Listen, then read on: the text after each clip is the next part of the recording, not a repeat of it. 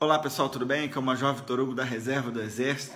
Hoje eu recebi o convite do Comando da Marinha do Brasil para poder ir ao continente gelado, a Antártida, junto com a missão da Força Aérea e da Marinha, né, para conhecer um pouco aquele continente e saber um pouco mais sobre o Tratado da Antártida e as possíveis negociações futuras que vão garantir a nossa soberania sobre a região, ou sobre parte da região, né, quando e se houver esse tipo de rediscussão do, desse tratado.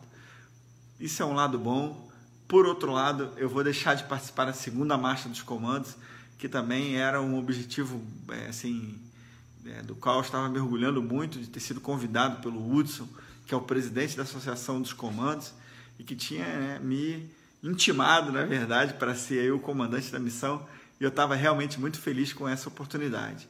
Né? Mas é, haverá outras chances para eu participar junto dos comandos, né, de outras atividades. E nesse momento eu vou né, priorizar o convite que a Marinha do Brasil me fez, porque é uma oportunidade única de conhecer um continente muito diferente, um lugar onde eu não estive e um lugar onde a Marinha do Brasil e a Força Aérea têm um papel decisivos para a presença brasileira.